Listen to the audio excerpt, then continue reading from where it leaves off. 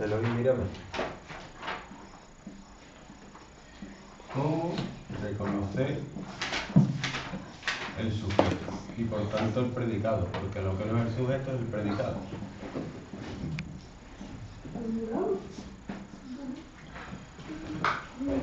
Vamos a ver. Se cambia el número del verbo.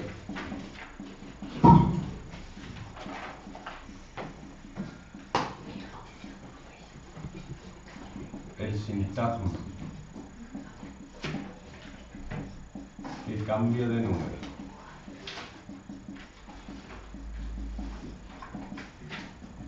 Con el verbo es el sujeto. Por ejemplo,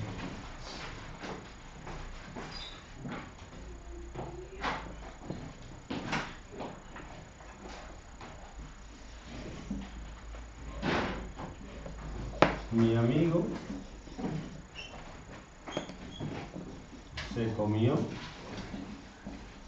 una pizza. Mm. ¿No te entra? No me gusta la pizza. ¿Quiere ir? Mi amigo se comió una pizza. ¿Qué te gusta a ti? Soy muy mala para comer. ¿Una hamburguesa? No, ¿Poco?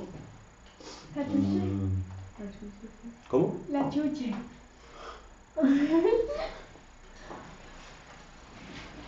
Pero igual. Una... Alubia, ¿Eh? alubia. Un potaje. ¿Tampoco? No nada. ¿Pusero? No. ¿Tampoco? Una lenteja. no. ¿Arroz? ¿Paella? Yo voy a comer. ¿Macarrones? Macarrones. Bien. Menos mal. Un plato de macarrones. ¿Ves? Yo creo que si la frase te gusta, te la aprenderás mejor. Para una tontería, pero no lo es. Mi amigo se comió un plato de macarrones.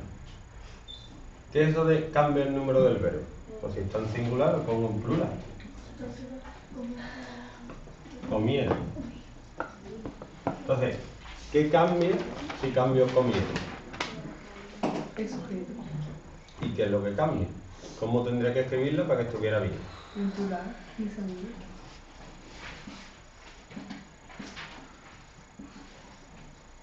Mis amigos se comieron un plato de macarrones. Son buenos amigos y lo comparten. Fácil, ¿no? Entonces, sobre todo es mis amigos.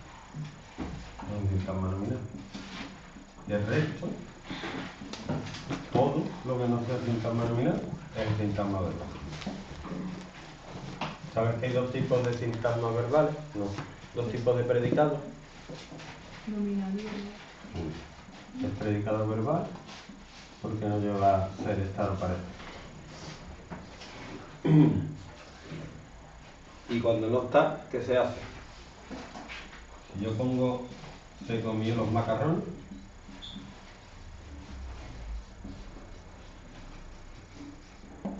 ¿cuál es el sujeto? Omitido. El.